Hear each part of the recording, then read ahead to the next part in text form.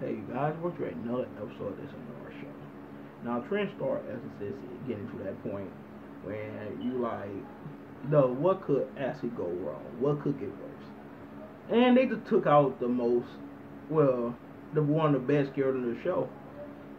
And um, well, the head, the head exorcist, I his fucking name that fucking fast, wow. But they, I believe he got sealed away and you know the way he act, he's so cocky. Even even even when he was losing, he wasn't so cunning and cocky. We were losing. I'm like, nigga, you caught. They got you. Like, he may got me, but still. I'm like, damn. He don't give no fucks. Even when he lost, he still think he still act as if he got it in the bag.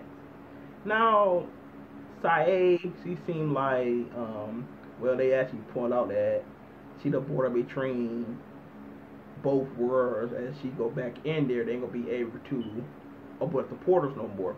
Which actually makes sense because when she left that dimension, they were able to um they were able to make dragon spots. So it makes sense that Sae or CA or Sa- uh, Sinai, what her damn name is, is the bridge between both worlds. So I'm like, okay, she came out of nowhere. She couldn't talk. Then she learned how to talk. And then once he did uh, learn how to speak, um, the dragon spots came soon after that because that border not there no more. So as she go back where she belong, they gonna be able to, you know, seal everything away and say the words, but say everybody. But you know how anime work. Oh, we can't do that to her. She our daughter, and we we gotta protect her. Yeah, we gotta find a way to do this without sending her away.